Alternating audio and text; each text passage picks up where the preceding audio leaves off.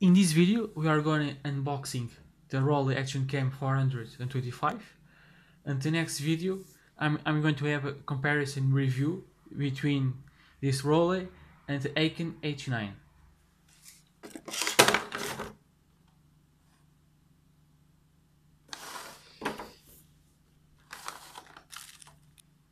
We have a camera frame holder, protective back door, two safety pads, USB cable, uh, wireless remote control, two adapters, and the manuals. And we have a waterproof housing. And the battery is already inside the camera. Orange button is the shutter select button.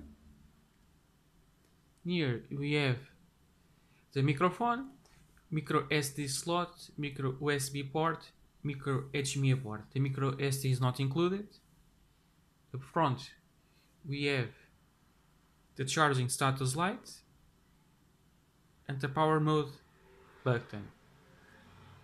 Here we have the back battery door and the battery doors latch.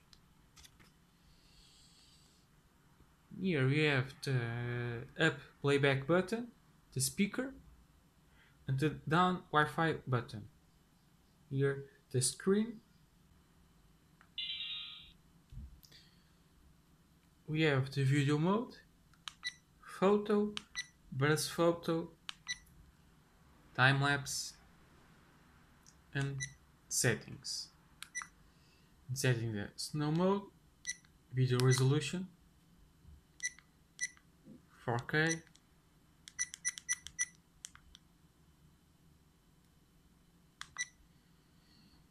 Looping video, photo resolution, burst photo, time lapse, continuous lapse, upside down, screensaver, and that's it.